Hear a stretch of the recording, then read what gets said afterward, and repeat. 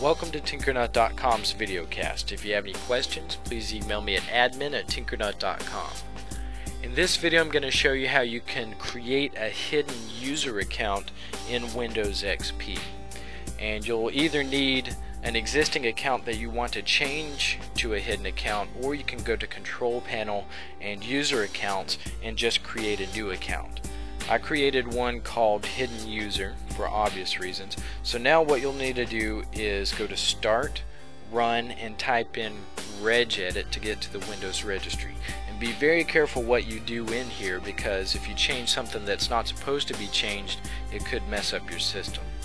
But you want to go to HKey local machine software and then Microsoft and then scroll down till you find the Windows NT folder and then the current version folder and then scroll down until you find the Winlogon folder and then go to the special accounts folder and user list.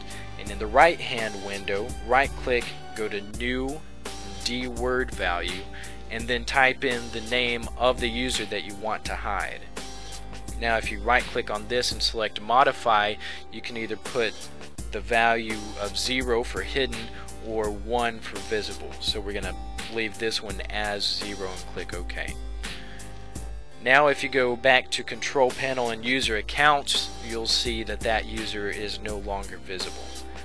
And also if you log off of the current user that you're under you'll see that on the login screen it's not visible either to access it you have to hit control alt delete twice and type in that hidden user account and under this hidden user account, if you go to control panel and user accounts, you can see it here, but you won't be able to see it as any other user.